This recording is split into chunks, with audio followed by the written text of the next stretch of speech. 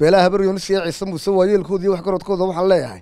Waa arrin ilaah baan idinku dhaarshay dabka inaga baktiya dhinaca loola cad joogay oo meegaag ciidan waraysta balaayo cudhubteeda iyo cusurteeda dambeeti iyo camalkeeda yaqaanay. Kala cudubilaysta wartalo culka jooja walaalayaal iyo ilmaadeerayaal iyo awowyaal dabka.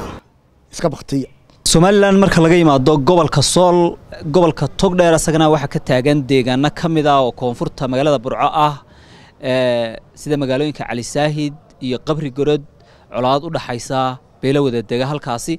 Ilaa shalay laba qof ayaa ku dhintay dhaawac ayaa jira. Welina arrintaa xal lagama gaadhin. Isbeegsiga ay dadka deegaankaasi degani dagaalka isku beegsanayaan. Xildhibaan axmed yuusuf nuur guruujo oo ka mid a xildhibaanada golaha wakiilada ee somalilan ayaa hadda dhinacayga fadhiya. Xildhibaan somalilan waxaad moodaa in arrimahan dagaalka udhexeeya beeluhu sii fidayo. Soo dhowow bal ka warran arrimahan. Anigoo aada uga xun wararkaa naga soo gaadhaya koonfurta magaalada burco ee ku saabsan shaqaaqooyinka dhex maray dadka walaalaha ah ee deegaanada ku wada nool. Waxaan halkan uga dirayaa baaq nabadeed.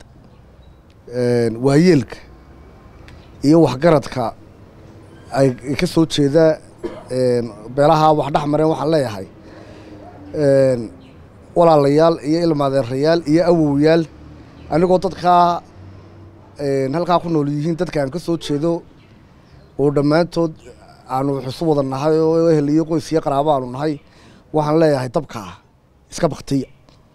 Xukuumad iyo dowlad iyo cid alla cid kale oo aa wax ka sugtaan toona idinkoon isku hadlaynin dabkaa guryihiina ka baxaya. Intaa ilaahay ka yaabtaan idinku iska baktiya baan leeyahay. Hadalkayga waxaan ku larayaa wuxuu yidhi salaan carabi dhinaca loola cad joogay oo meegaag ciidan waraysta.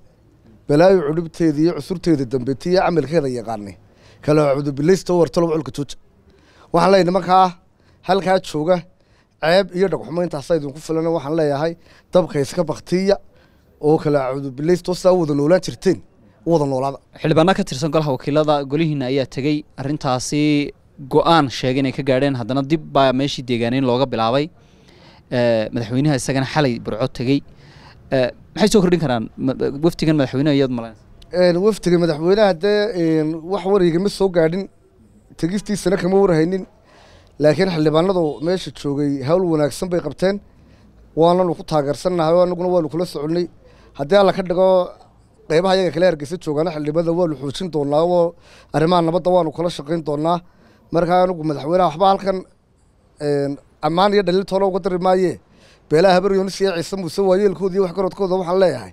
Waa arrin ilaah baan idinku dhaarshay dabka inaga baktiya maxaa nuglaanta imanka somalilan aad moodo ina deegaanadii ay ku fidayaan arrimahan colaadaha iyo maxaa u sababaa la odhan karaa de maxaynu dhaahnaa eh, waxaynu dhaahnaa xukuumad wey ayaan darinta baynu dhaahnaa ma wey shaqo xunta baynu dhaahnaa ma waxaynu leenahay ma waxaynu dhahnaa dadaali mayso. Dee dabka waa kaa baxaya say tahayba